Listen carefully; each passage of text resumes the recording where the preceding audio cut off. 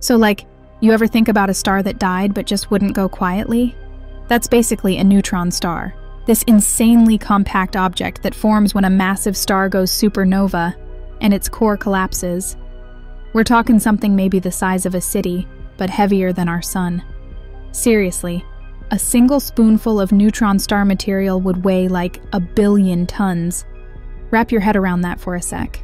These things spin super fast, sometimes hundreds of times per second, and if their magnetic poles line up just right, they shoot beams of radiation that sweep across space like cosmic lighthouses. We call those pulsars. Every time the beam points at Earth, we see this little flash, kind of like someone flipping a flashlight on and off in the dark. It's wild to think about how stable and precise they can be, almost like giant celestial clocks.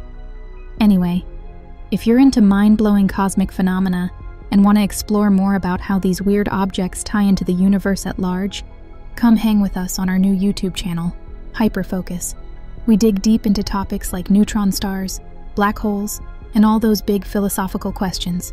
Hope to see you there.